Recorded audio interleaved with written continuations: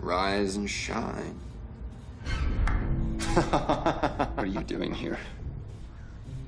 I banished you for good. Almost. Love of a good woman and all that.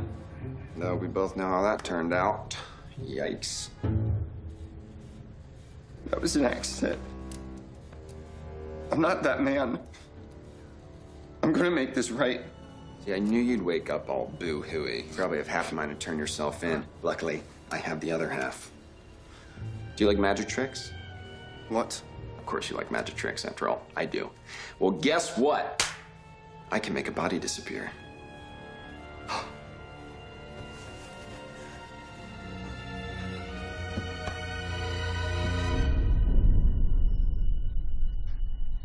Where is she? Where is Miss Kringle's body? Open the envelope. I hid her body while you were catching some Z's. You'll need a helping hand, so look for her initials down at the GCPD. You went to my work last night. Well, technically you did. I was just in the driver's seat, so to speak. How? You're a figment of my imagination. A projection of impulse, nothing more. That is uncalled for. Uncalled for? You hijacked my body while I was asleep.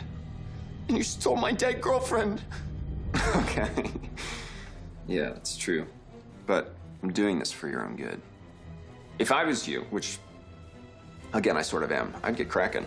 You do want to find the body first, right?